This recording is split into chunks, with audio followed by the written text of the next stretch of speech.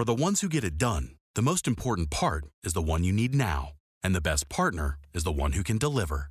That's why millions of maintenance and repair pros trust Grainger, because we have professional grade supplies for every industry, even hard to find products. And we have same day pickup and next day delivery on most orders. But most importantly, we have an unwavering commitment to help keep you up and running. Call, clickgrainger.com, or just stop by. Grainger, for the ones who get it done.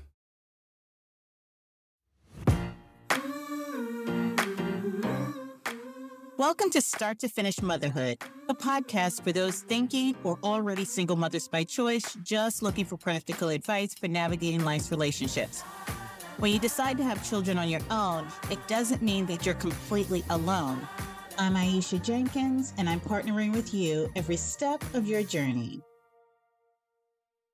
Hi, everybody. As promised, this is the frequently asked questions episode for season two. And I want to take this moment to thank everyone who sent in their questions through email, through the Facebook group, and through the Start to Finish Motherhood Instagram page. And, and also, before I jump into these questions, these are really good.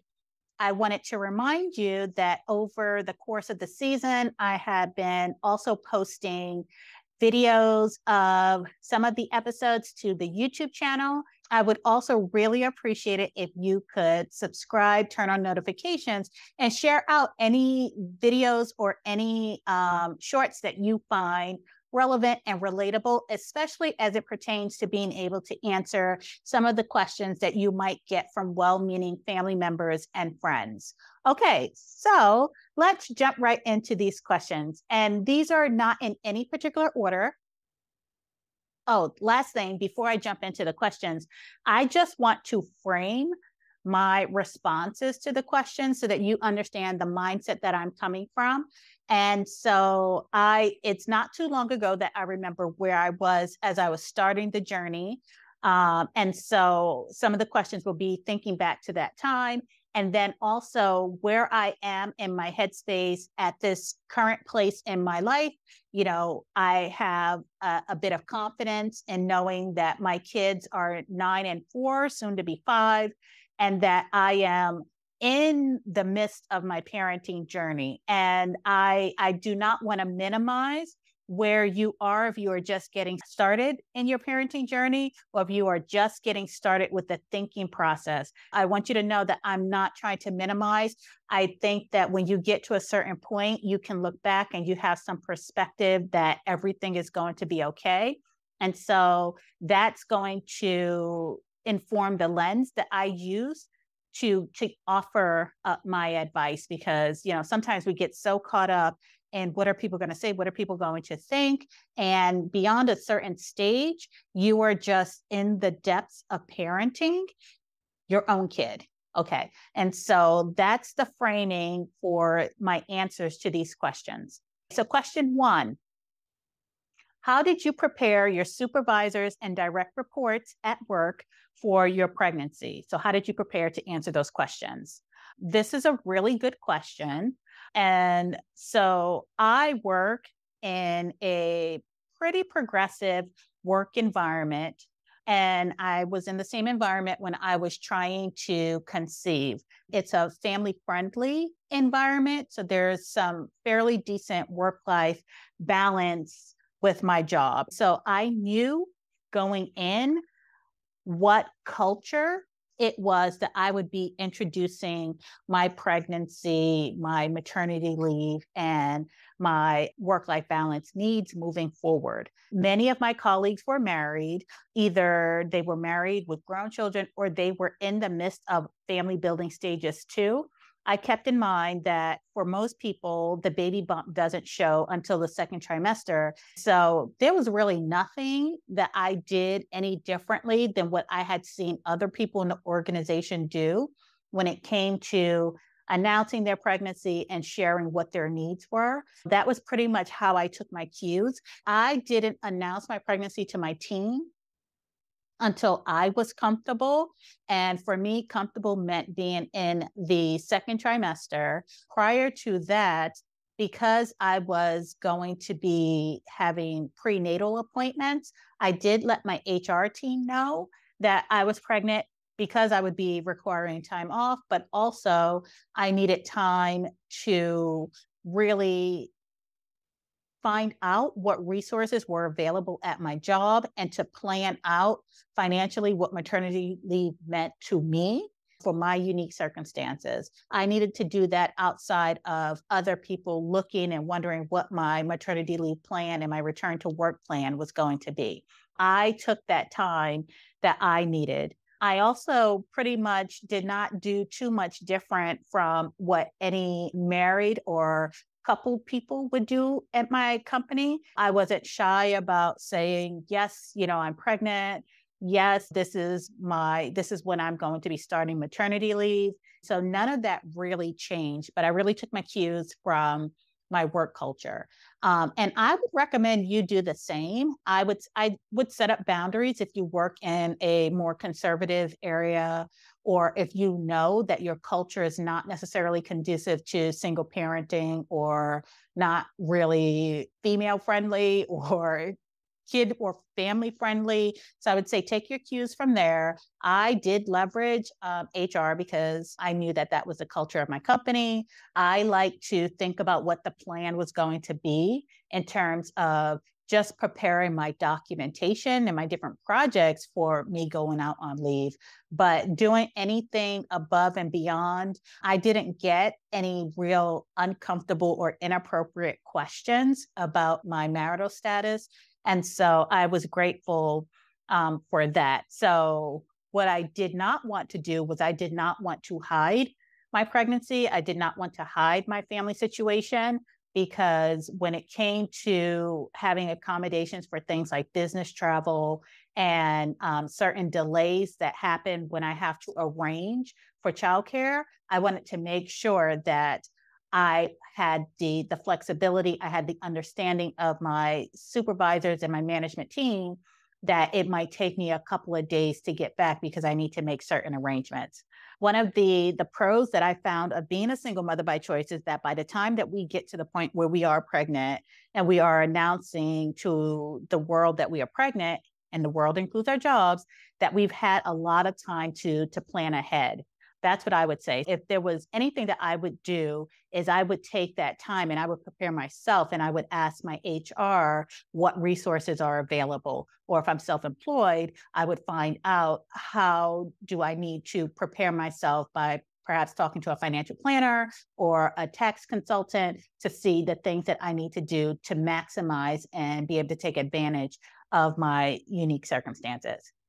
Question two how do you politely tell male friends that you do not want them to be your donor? This question comes up quite a bit, and these situations come up quite a bit. And it is super, super uncomfortable when you tell somebody, I have made this decision to have a child on my own. And then you go into details and you are blindsided by people offering you up their appendages and their bodily fluids to to make this dream happen. And along with that comes whatever other conversations or baggage. So it's just super super uncomfortable. Again that's one of those opportunities where you don't offer up help unless someone asks for it. I would assume goodwill and i would kindly decline in a way that is firm and definitive. Your your response should be as bold as the offer for example, I'd say something along the lines like, I appreciate your offer, but no, I'm doing this on my own, right? Be firm with the no, and then leave the room or hang up the phone. Now, being a single mother by choice means that you're going to encounter all sorts of unsolicited advice, all sorts of unsolicited offers, unsolicited uh, stuff, and baby items you name it, unsolicited things will just come off the woodworks. I learned early on whose opinions I valued in my journey. And for those whose input doesn't really matter to me, I would just respond to something like, you know, that's great. I love that for you. If you like it, I love it, is my favorite saying. This response pretty much shuts down the conversation. And for me, it helps me to stay focused on my own path because my path is my path By the time we arrive at this position where we're thinking about becoming single mothers by choice, we have reached some point of um, self determination or autonomy in our lives where we know what we are taking on um, from a global perspective. Kids are an X factor, but okay. Next question How do you prepare for unexpected challenges at work after becoming a single mother by choice? I say that I identified early on who were the people I needed to keep informed about the changes in my my home life and my my various situations in particular childcare is always a big issue for me. I can weather most anything with stable reliable safe childcare. I knew who i needed to keep informed what projects i were working on that i needed to make sure that they kept running even if i had to take time off because i had a sick kid or something like that. I learned what resources were available to me, and then I used those resources. So I used my company's EAP quite a bit. I used whatever health insurance plans, whatever backup childcare options were available to me. I needed to know what my options were so that I can make informed decisions in the moment. And so I did this homework and this legwork ahead of time. I keep in mind my priorities and so when my resources become limited in terms of what I am able to do based on changes that happen due to my single parent by choice status, then I had to then fall back on my priorities. What things can wait, what things needed to be taken care of immediately. Um, and that's still something that I do, even with regards to finances, because when you have children, unexpected things come up and they're not small like $10 things. They're like hundreds of dollars. I needed to remain flexible and being flexible meant that i needed to know what my priorities were going into almost every situation. And then i had an episode on creating margin. This means that there are things that you can expect to happen at unexpected times. You can expect that in a 365 day period somebody's going to get sick Somebody's going to throw up on you. Somebody's going to need a change of clothes out in public.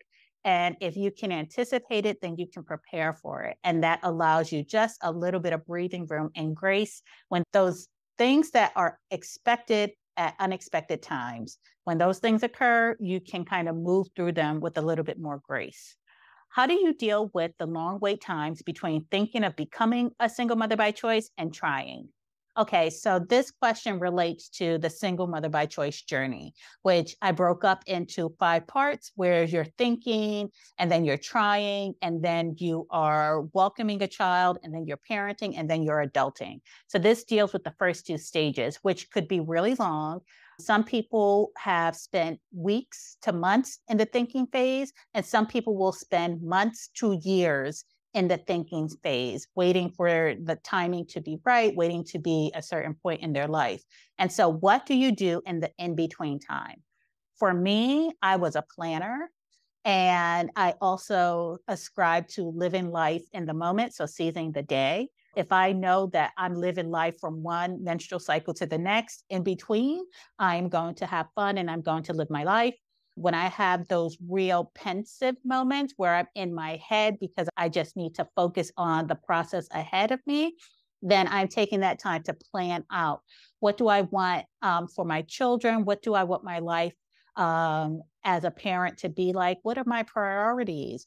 Uh, what do I need in a village? Where do I want to live? What do I need in a school district? So I'm thinking and I'm planning what do I want my parenting philosophy to be? I'm envisioning and almost speaking, hopefully, hopefully into existence, the type of life and the family that I would like to to create and lead. And so that's pretty much how I spent that time. If you're a religious person, go to church. If you're a person who likes to travel, go spend the time traveling. The future will take care of itself, but you do want to make sure that you're living life in the meantime, because while we all do hope for the best outcomes in this single parent, single mother by choice journey, there's no guarantees here so you don't want to spend a huge chunk of your your 30s and and your hot person summer life just waiting and pining and hoping i'll do this when the baby's here. I'll do this when i welcome a child. I'll do this when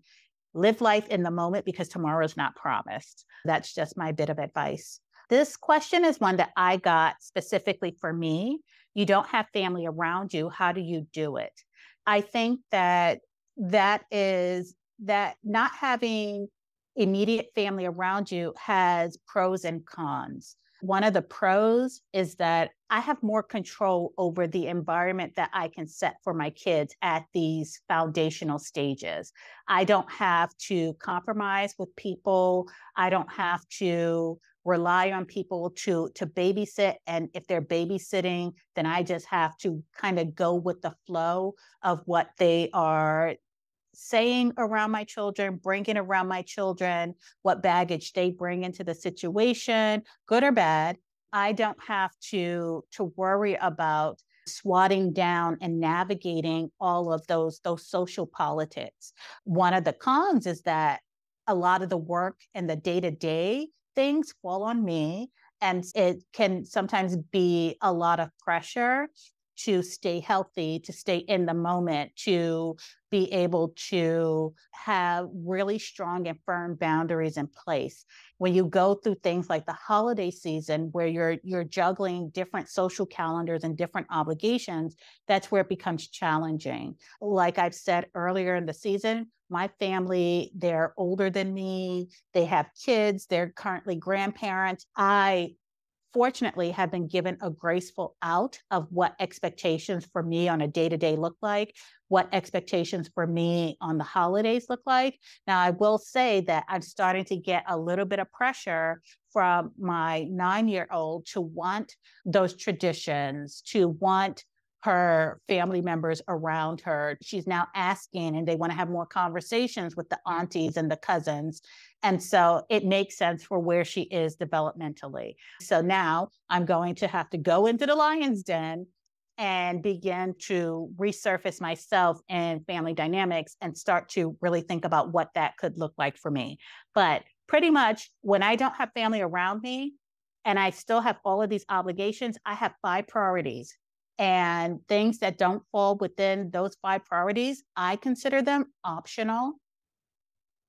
I'm not a jerk about my no's, but I do know that a no is coming. I want to make sure that I prepare people for the no, but they're easy no's for me. And so if it doesn't involve my health, if it doesn't involve my kids, my time, my estate, and my chosen family, then if I don't have the time for it, I'm not going to stretch myself to make the time for it, especially not on a regular basis. So those are easy no's for me.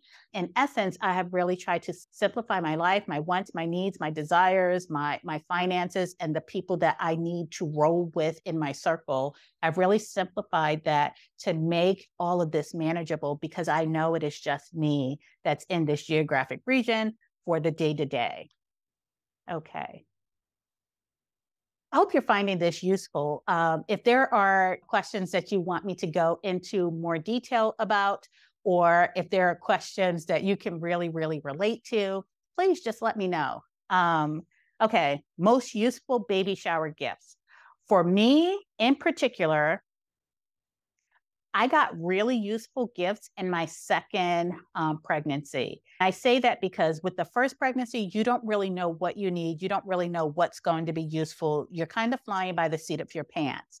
But by the second time, I knew what I wanted to be like in terms of parenting. I knew what was important. And then I had a bunch of hand me down stuff. So when I think about the things that were really useful to me, they were things that fit into my individual needs and desires that I had for my family and and the legacy that I wanted to leave. There were two things that I got that were really useful. I got vouchers for a photo shoot.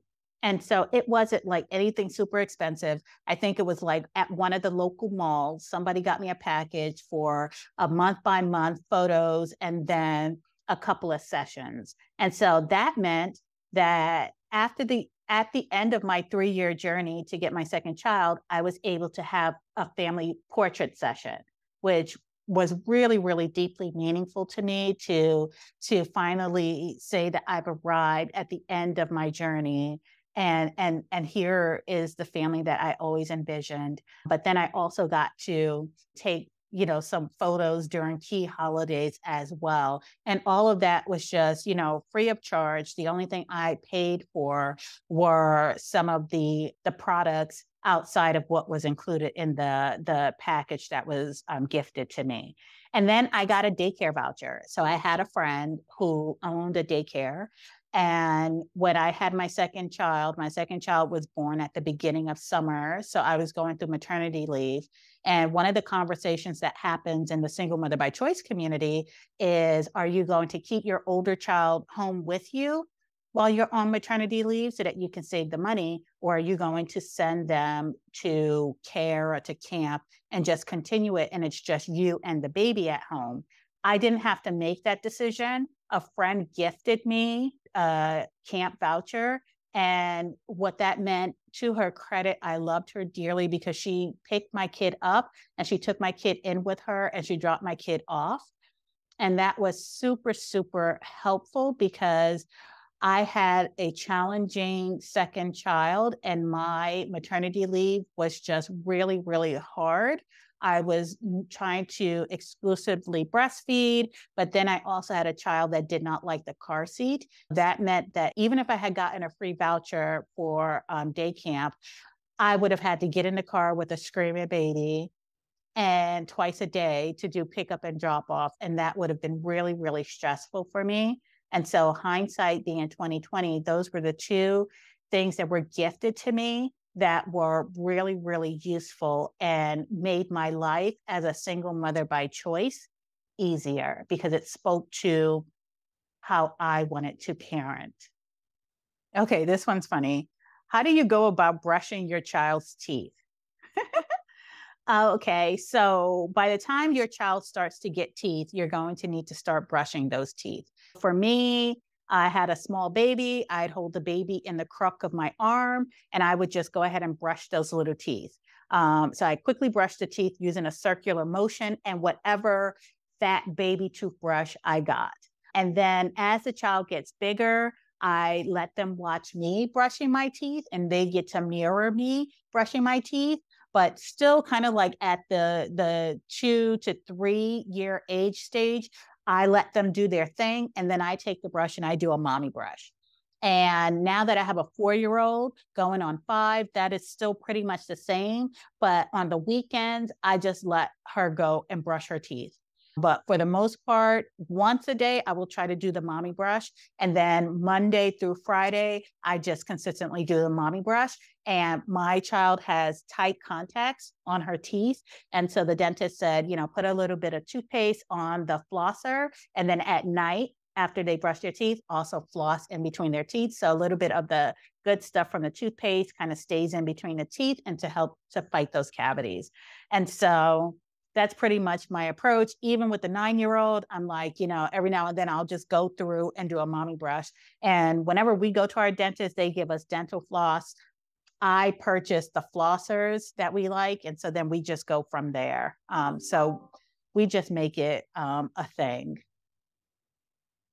Next question How do you fit in workouts? Well, for me, I'm a structure person. So I need structure in my day in order to consistently fit in workouts. So that's one thing. I need to know what my work structure is going to be and my life structure so that I can fit in workouts. I'm not even going to try to work out on the weekends because that's family time. We do activities. Um, but during the week, I have more structure. Monday through Friday, I pick days that I can consistently work out. So Monday, Wednesdays, Fridays, I go to the gym. And my gym is also at a location that has childcare. I make sure I put the kids in childcare. I go to the gym. Right now, I'm doing 35 to 40 minute workouts. That works for me just to kind of keep everything flowing and moving. As the kids get more older, I would just expand out that schedule. I like to buy gear and I like to look fit and sleek when I go to the gym.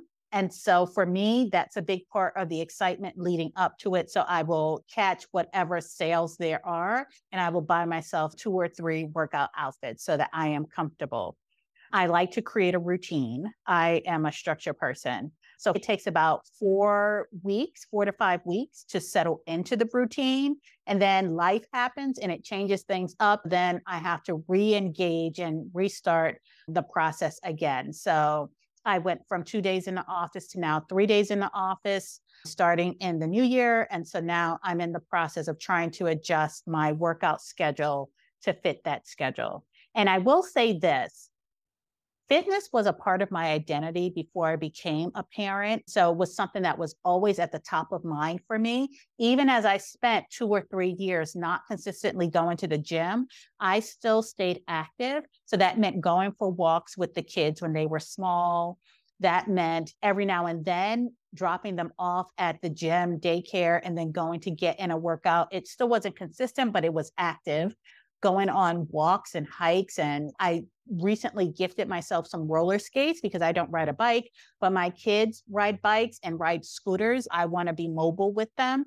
So now this is an additional activity that I can fit into family time. So I look at the weekends as just that optional free time to do whatever we want in terms of activities, whether it's a leisure walk or if I'm roller skating and we're doing things on wheels that weekend. So that's how I fit in fitness. But be gentle with yourself and don't rush it. As long as you stay active, times my kids were the only exercise that I got. And by that, I mean that children are physical. So I'm doing a lot of picking up, whether I'm picking up the kids, picking up the kid with the car seat, picking up groceries so that I only make one trip. I was constantly trying to stay active. And so while I was staying active, I'm engaging my core and, you know, I'm engaging my quads. I'm stretching as I'm washing dishes. I'm doing yoga. I'm doing planks. So just different things to, to activate certain parts of my body. How did you find your doctor? I'm big on recommendations. And once I get a recommendation, I work based off my gut. One of the things that I tried to really harness before I started really getting into parenting was trying to understand what a respectable dialogue between myself and my medical professionals looked like and how that made me feel. Whenever I go based off of someone's recommendation, I'm using my gut to say, do I feel heard? Do I feel that my needs are being met with this medical provider? And I have on occasion had to fire a medical professional for not providing me an adequate level of care based on what I expect. I have the authority to do that, and I will find uh, another um, physician within my network that works for either myself or my children. Um, while I do prefer doctors who look like me, my vetting process does not change. You could look like me and still not be for me. How do you tell your child their conception story? Well, in the single mother by choice, we had the mantra tell them early and tell them often. That being the case, I started when my kids were really, really young, knowing that their donor conceived is just a part of their lives. It's nothing that's out of the ordinary. I don't shy away from conversations about people with dads or people with granddads and grandparents or aunts and uncles and pets. I lean into all of those because all of those are valid family structures that I want my kids to recognize because they might choose any one of those family structures. They might also choose the single mother by choice family structure. And I want them to know that all of those family structures are validated and that they're a okay with me. It's just been a part of who we are as a family. And since I have a four year old and a nine year old, I'm having a second chance at telling that conception story. And I also have an older kid to help validate that conception story. We're just constantly, you know, asking questions, and it's just a part of our normal dialogue. And the questions, the questions become more mature and more perceptive as my children become older. And so I'm here for it as long as I'm able to to talk to them my approach is a recipe approach. So I use a recipe anal- analogy that, um, and I try to keep the recipe as inclusive as possible. So basically, I've arrived at it takes four things to create a baby it takes eggs, sperm, a uterus, and lots of love. And then I go into the specifics for each child's conception story. The level of detail will change over time as the kids get older, their understanding becomes more sophisticated. So they ask different questions. Um, I find that it's not always a smooth or a fluid telling, and it's okay for them to watch me stumble and recover, for them to hear me rephrase things and ask them questions for clar- clarification. But I get I get the story out because I know that it's an important thing that they know all that they can know. They know all that I know about their conception story, and that they feel safe when they're asking me these questions and they're sharing their feelings about the information that I've shared with them. Those are just basics for me in terms of the family that I want and the relationship I want to have with my children. What's the most difficult part about being a single mom? For me, I always feel as if the landscape is changing and shifting. So my choices have changed based on life circumstances. Did I become a, a parent while I was uh, with a partner or as a single person? Circumstances changed, and I had to become a parent as a single person. I changed physically and I changed emotionally. With my first child, it was a happy, jubilant conception. With my second child, it was emotionally draining. Physically, I had I now have stretch marks and I have a little bit of a pooch, and so I'm dealing with the jiggly wigglies. But you know, my kids love the warm patches and the warm places where they lived your children arrive and life changes, right? So I feel like you're in a constant state of adjusting. There's never enough time, there's never enough, you know, space. And so I feel like there are so many developmental stages for your children, but there are also development stages for you too as you you progress on your parenting journey, right? your professional life changes your finances changes for for a time being. Your relationships they're constantly evolving. Your friendship circles change. So becoming a single mother by choice it just constantly feels like i'm adjusting to change. And i as an individual i don't handle change well so i need a long runway to get prepared for the change so my thinking phase, you know, I appreciated having the years to think about what being a single parent would look like. And then the off ramp as well. So I slow down, I've simplified, I stay mindful, I adjust and, you know, I breathe through and and reflect on how my life has changed. And so I protect my time and my mental space as a finite resource. And so for me, the hardest part of being a single mother by choice was being on this journey of change and, and accepting the change and accepting myself. Gosh, you guys have a lot of really good questions. And so let's see if I can go through some of these. I got a question What are you currently reading? I will say this quickly. I used to be an avid reader of hard copy books before I became a mom. So one of the hardest things for me to adjust to was not being able to to touch books and sit down and curl up with a book. And then I really leaned into audiobooks. And so I love audiobooks. The things that I'm currently reading, well, I just finished Kindred by Octavia Butler in a, a parallel life. I am working around themes of Afrofuturism, and Octavia Butler's name comes up, as well as Rasheedah Phillips. And so I've listened to podcasts that feature Rasheedah Phillips, and I'm now delving into Octavia Butler's um, books. I'm also reading Finding Me by Viola Davis, and it is cathartic, it is deep, and I have read the first few chapters and I had to put it down and reflect on the parallels that it has with my own life. For the second time, I've listened to the smartest kids in the world because as I get ready to enter my my child into kindergarten, my second child into kindergarten, I'm reflecting on this little person and what she might need in terms of becoming one of the smartest kids in the world. How do you explain your conception story to others and do they believe you?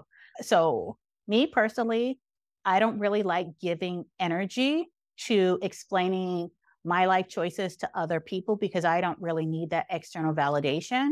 but I do have groups of people that I think is important for them to know. And for those people, I do share that information and I share facts. Those people are going to be medical professionals, school staff, childcare staff, someone that I'm considering dating seriously, my management team at work. Um, in those cases, I keep it factual, I keep it straightforward. I'm a solo parent. I use a sperm or egg bank and a doctor to conceive my children.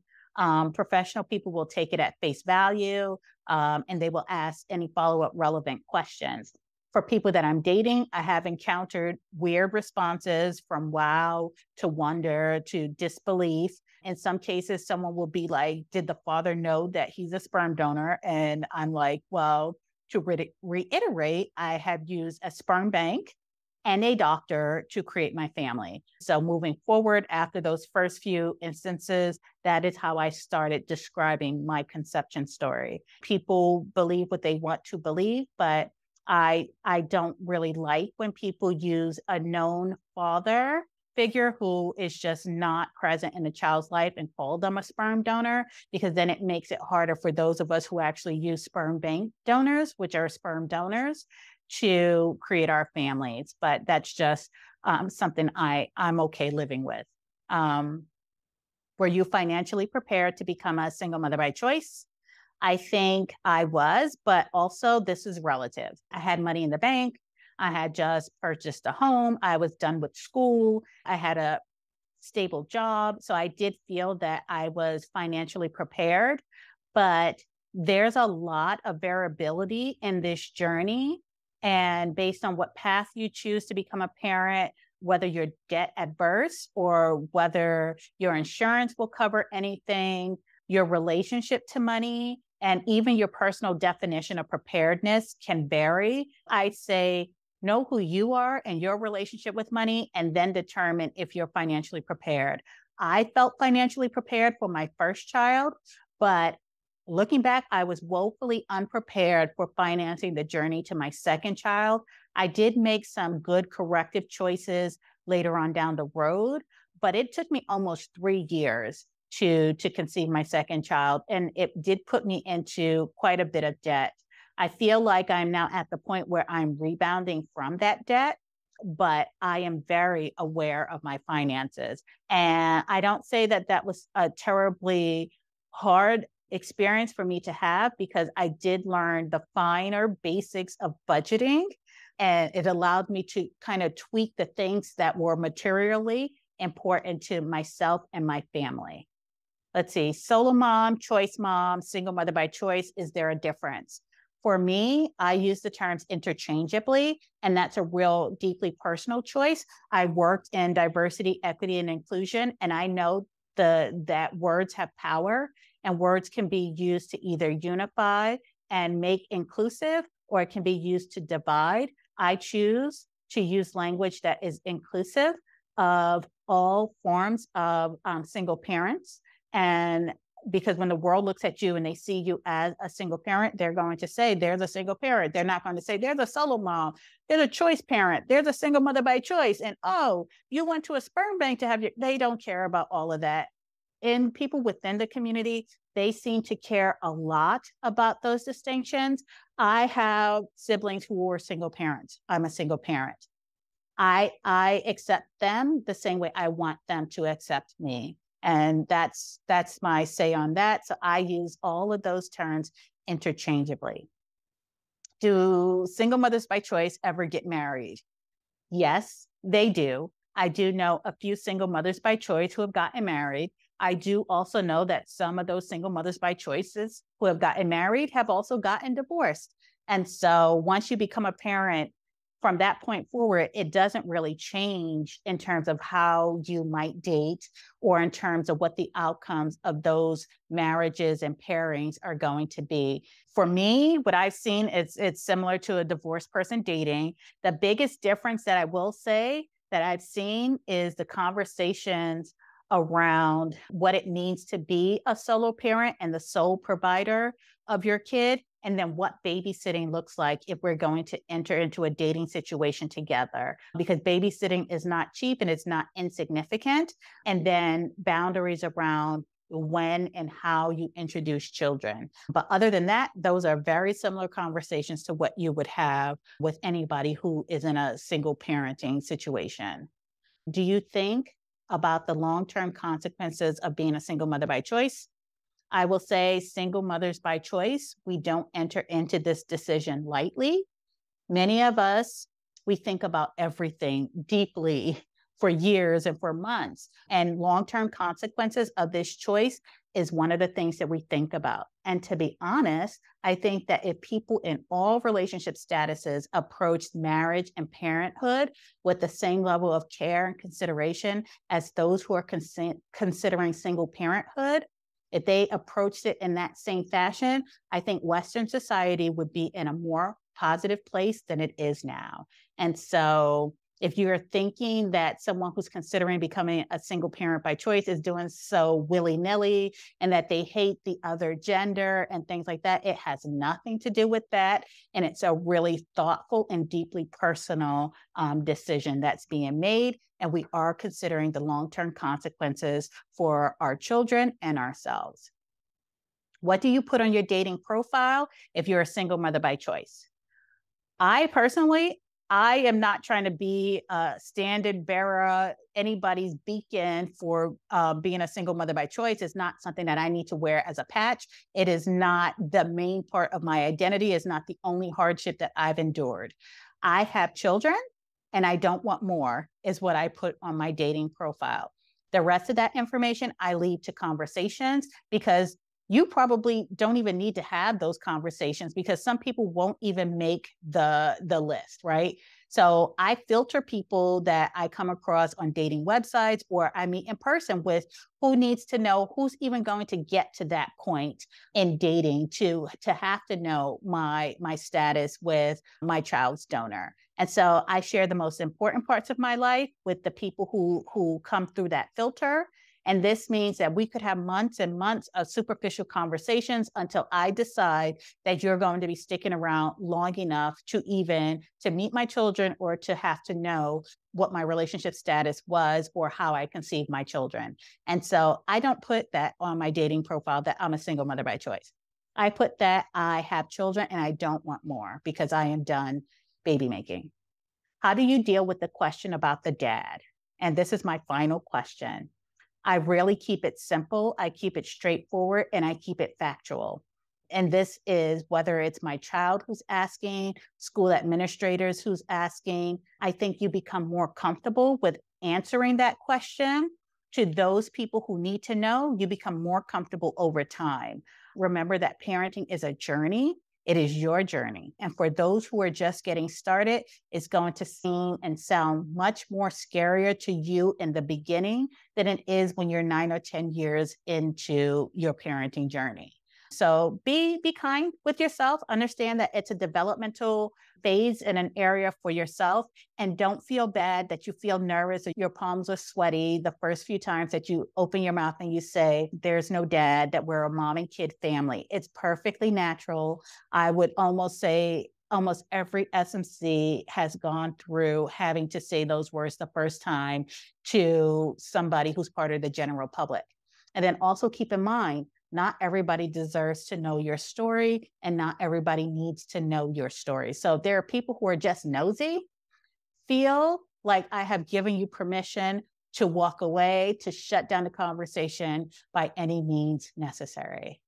And whoo, got through it. There you have it. This is seasons two frequently asked questions episode. Thank you so much for sending in your questions and send more, send more. Don't forget to follow the YouTube channel and don't forget to um, subscribe, share, and turn on notifications.